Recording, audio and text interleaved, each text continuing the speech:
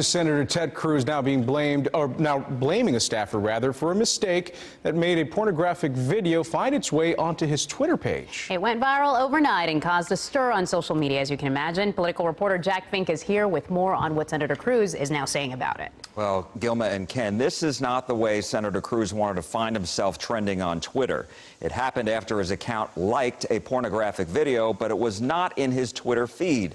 Senator Cruz told reporters today that this was not a deliberate action or malicious. Instead, he said, quote, it was a staffing issue and it was inadvertent. It was a mistake.